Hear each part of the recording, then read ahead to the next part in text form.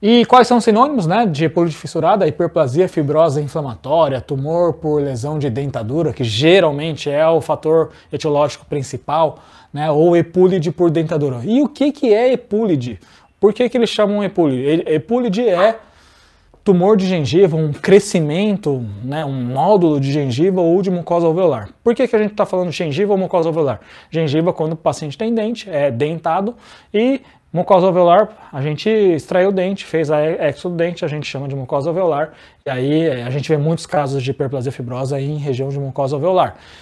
Lembrando, né, é, hiperplasia fibrosa inflamatória é igual a epulide fissurada, são sinônimos, então você não vai perder uma questão dessa de bobeira. Se não tiver uma questão falando assim, ah, qual o tumor de boca mais comum, não tiver fibroma ou fibroma de irritação e tiver lá hepúlide fissurada, hiperplasia fibrosa inflamatória, você vai lá e assinala hepúlide fissurada, hiperplasia fibrosa inflamatória. Por que, que eu estou falando isso? Porque já caiu em questão, não tinha fibroma e tinha somente o, a alternativa hepúlide fissurada, e aí você tem que escolher essa alternativa porque eles colocam, né, quando eles escolheram essa alternativa, porque eles consideram como um sinônimo. Tem relação direta com próteses mal adaptadas ou bordos de prótese mal adaptada, como eu vejo casos de hiperplasia fibrosa inflamatória. São muito, muito comuns esses casos. E você já deve ter visto, quem atende muitos pacientes idosos, a todo momento, né, quando vai fazer troca de prótese, vê casos de hiperplasia fibrosa inflamatória. Né, os nossos pacientes usam próteses, não trocam, né, de 5 em 5 anos, principalmente o paciente do SUS, né, vai trocar às vezes 40 anos depois, 50 anos depois, e aí o paciente vem com uma hiperplasia, senhora hiperplasia, né.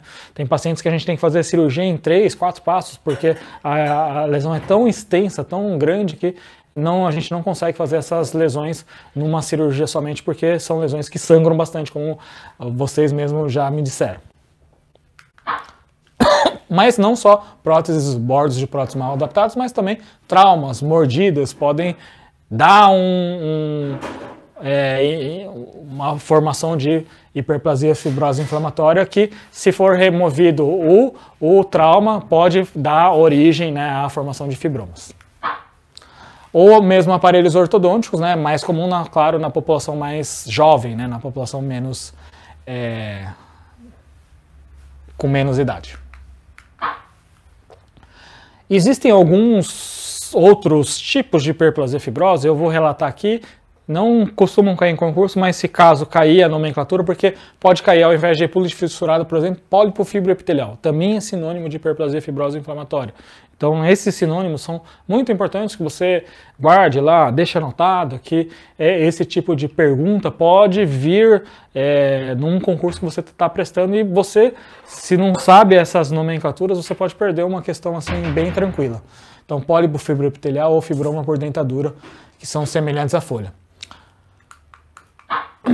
E na histopatologia, o que, que acontece? Diferente do fibroma, existe uma hiperplasia do tecido epitelial e do tecido conjuntivo. Além dessa hiperplasia do tecido epitelial e do tecido conjuntivo, a gente vê um infiltrado inflamatório crônico presente na, na, na região de conjuntivo. Quais são as células que fazem parte do infiltrado crônico, principalmente? Linfócitos, que a gente vê muito, e macrófagos são as células mais importantes do infiltrado inflamatório crônico. Quando a gente pensa em inflamação aguda, por exemplo, quais são as células mais importantes? Neutrófilos. Tratamento também, muito importante, remoção do fator traumático e cirurgia. Por exemplo, o paciente chegou com a próxima mal adaptada, com uma senhora hiperplasia na região de rebordo inferior. Qual que é a sua primeira conduta?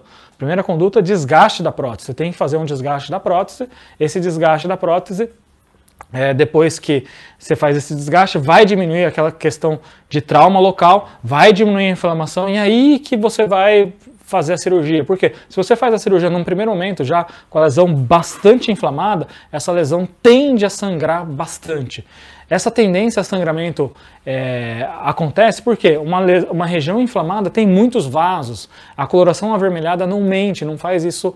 É, mostra claramente que existe uma inflamação e com a presença de muitos vasos. Existe uma neoformação de vasos, né? Que a gente chama de angiogênese. Então é comum num tecido bastante inflamado sangrar mais. Dessa forma, a primeira conduta é a remoção de fator traumático. Removendo o fator traumático, a gente vê aquela mucosa hiperplásica, já com diferindo daquelas colorações mais avermelhadas, menos avermelhadas, à medida que eh, foi removido o trauma, a gente vai estar diante de uma lesão que vai ser muito mais tranquilo fazer o procedimento cirúrgico. Então, se existe uma conduta bastante interessante para você fazer para sangrar menos uma lesão de hiperplasia, por exemplo, é fazer a remoção do fator traumático, ver que aquela lesão não está mais tão eritematosa, já está adquirindo aquela coloração rosa pálido da mucosa normal, essa lesão vai sangrar menos, vai ter um, uma maior facilidade de hemostasia e vai ser mais tranquilo de fazer a sutura. Então essa é uma dica clínica, né, que não é perguntada em concurso, mas se você estiver diante de um paciente com isso, é uma dica importante. Então aqui, alguns casos de hiperplasia Hiperplasia na região superior anterior. Por que, que é tão comum nessa região? Principalmente porque os últimos dentes que são perdidos né, da, da boca geralmente são os dentes é, anteriores inferiores. E aí os dentes anteriores e inferiores é, ocluindo com a dente com prótese provoca uma reabsorção maior nessa região anterior superior e essa reabsorção faz com que haja a formação dessa hiperplasia fibrosa nessa região. Isso é até chamado de síndrome de de, de Kelly, né? É uma, uma patologia que acontece frequentemente, muito por conta dos últimos dentes a serem perdidos, serem os incisivos ou dentes anteriores e inferiores, aí fica ocluindo lá, existe uma reabsorção mais significativa nessa região e a formação de hiperplasia nessa região. Tratamento cirúrgico, claro que enquanto estiver inflamado, você faz um, um um desgaste da prótese, diminui a inflamação, parte para o tratamento cirúrgico. Agora, na região de rebordo inferior, isso é muitíssimo comum. Hiperplasia em região de rebordo inferior é hiper comum, porque o rebordo é muito baixo, presença de língua, a gente faz a prótese, nunca é aquela maravilha, né, como é na, na região de rebordo superior, e aí desenvolvimento de hiperplasia é muito frequente. O paciente ainda, para ajudar, não usa só 5 anos, usa por mais de 5 anos, e aí o desenvolvimento de hiperplasia em rebordo inferior é bastante frequente. Isso aqui é o pólipo fibroepitelial, só para vocês terem, olha o tamanho dessa lesão, praticamente metade do, do palato. E é uma lesão pediculada, uma lesão diferente, ó. Só para mostrar aqui, né, que a isquemia na hora que eu fiz a, a, o, a manipulação da lesão. E aí nessa região fiz um pique, removido a, a lesão, né, aqui fazendo a, a, a cirurgia. Claro que sangra bastante, porque para o sustentar, né, para é, fazer com que haja é, alimento para células em todo esse tecido que cresceu, com 4 centímetros, é necessário um, um calibre vascular bastante importante para que haja essa, essa nutrição celular. Olha o tamanho da lesão, né? 3 centímetros, na verdade, não era, não chegava a 4 centímetros, era uma lesão significativa, mas pediculado, né?